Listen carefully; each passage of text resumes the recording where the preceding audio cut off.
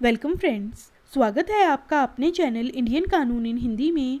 तो आज हम बात करेंगे कि क्या जज न्याय करने में गलती कर सकता है। दोस्तों, वीडियो में दी गई जानकारी अगर आपको पसंद आती है तो आप मेरे चैनल को लाइक, शेयर और सब्सक्राइब ज़रूर करें। अगर आपने अभी तक मेरे चैनल को सब्सक्राइब नहीं किया है तो आप कर लीजिए ताकि आने वाली नई वीडियो की नोटिफिकेशन आप तक पहुँचती रहे। तो आज हम बात करेंगे कि क्या जज न्याय करने में गलती कर सकता है। कर्नाटक हाई कोर्ट ने डिस्ट्रिक्ट जज साहब को दोबारा ट्रेनिंग करने के लिए भेज दिया कि जाइए, आप फिर से ट्रेनिंग कीजिए, फिर आप जज की कुर्सी पर बैठ सकते हैं। तो आइए जानते हैं कि ये पूरा मामला क्या था। जैसा जज साहब को करना चाहिए था, वैसा जज साहब ने नहीं किया था। इसीलिए दोबारा ट्रेनिंग में भेजने के लिए हाई कोर्ट ने ऑर्डर किया।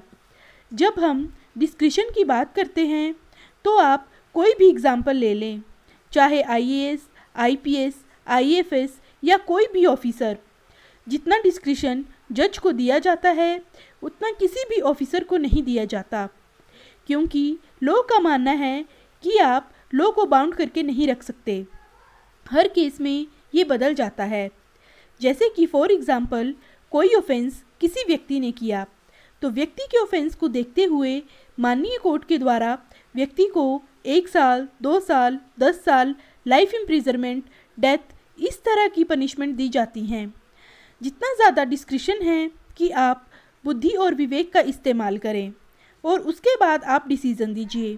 इसमें टाइम बाउंड या इतनी ही पनिशमेंट देनी पड़ेगी, वो चीज़ इसमें नहीं है।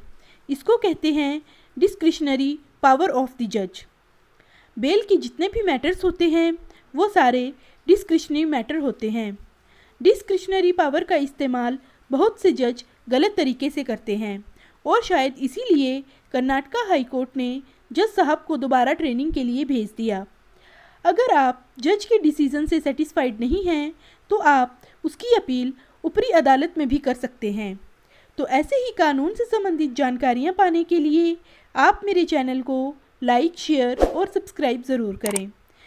वीडियो में लास्ट तक जुड़े रहने के लिए आप सभी लोगों का धन्यवाद।